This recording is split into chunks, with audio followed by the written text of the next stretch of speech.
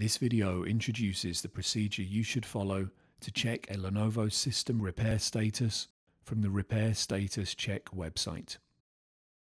Go to the Repair Status Check website.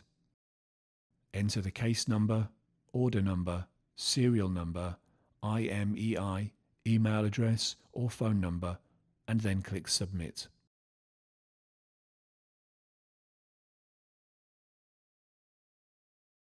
Information about repair tickets and status will be displayed on this page.